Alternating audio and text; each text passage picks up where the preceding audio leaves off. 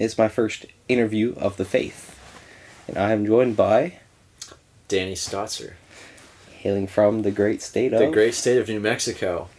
New Mexico. Want to tell a little bit about New Mexico? Yeah. So uh, if you haven't been there, you should go. You're missing out. Uh, New Mexico was uh, the 47th state to join the Union, so uh, they saved the best for last. Um, but no, I was born and raised in Albuquerque, New Mexico. Uh, I love it there. It's beautiful weather. Uh, I want to say it, it's better than Florida, weather-wise. Um, Florida's great. New Mexico's better. Um, and uh, it's a yeah, it's just a beautiful state. Uh, there's lots to do outside. Um, there's a ton of hiking in the mountains. Uh, there's cool, some really cool places out in the desert, rock formations, stuff like that. Um,